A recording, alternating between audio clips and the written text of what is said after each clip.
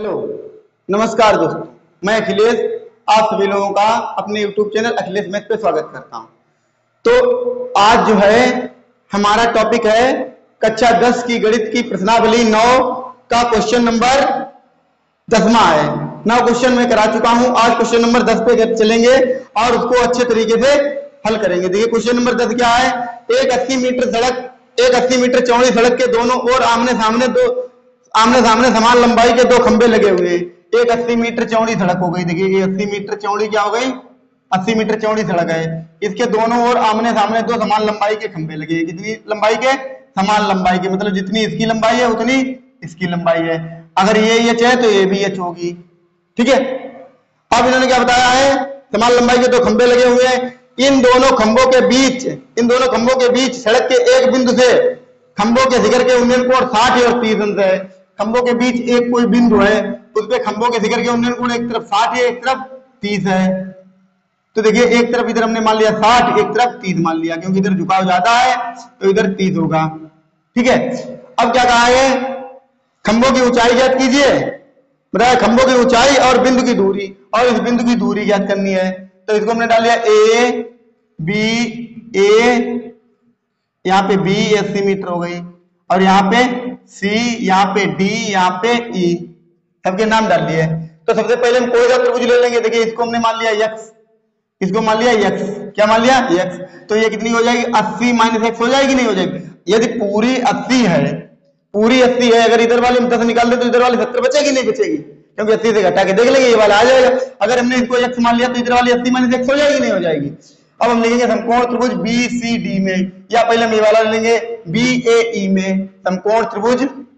समकोण त्रिभुज बी ए ई में बी ए ई में।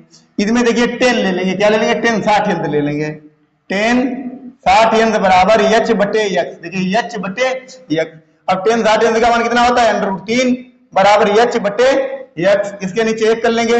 इसका इधर गुणा तो यच बराबर अंडर तीन का इधर गुणा करेंगे तो कितना आ जाएगा? अंडर तीन यक्स समीकरण नंबर एक। अब लिखेंगे समकोण त्रिभुज। अब कौन सा समकोण त्रिभुज लेंगे? बी सी डी में। समकोण त्रिभुज बी सी डी में। अब बी सी डी में देखिए, इसमें भी टेन लेंगे। टेन तीस अंश, क्या लेंगे? टेन तीस अंश बराबर यच लंब बटे आधार कितना आ जाएगा? अस्सी माइनस यक्स कितना आ जाएगा?